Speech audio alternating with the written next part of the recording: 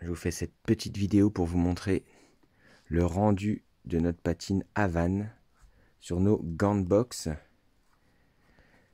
Donc on retrouve des shapes qui, peuvent changer un petit peu, suivant ce qu'on décide de, concevoir, de fabriquer.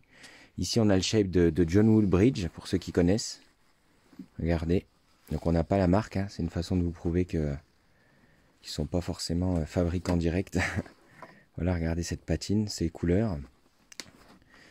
Voilà, on va voir le, shape, c'est celui qu'on va vendre le plus, euh, qui va être un peu plus, euh, un peu plus grand, euh, avec un intérieur en bourrage coton.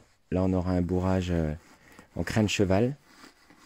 Voilà, quelque chose de plus petit, un peu plus puffy, comme on dit en anglais, et un rembourrage un peu plus léger en bourre de tissu donc toujours à peu près la même patine. Regardez ça, ces, couleurs, ces variations de couleurs, c'est vraiment euh, magnifique.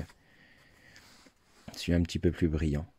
Mais en gros, voilà, vous avez un aperçu vraiment du Havane, de notre euh, couleur Havane à l'atelier directement. C'est simple, pas de retouche photo ou quoi que ce soit. Au moins, on peut vraiment se rendre compte de la, de, des modèles, du modèle que vous recevrez. Encore une fois, ça peut un petit peu varier. C'est normal, c'est le principe du, Du fait main. Voilà.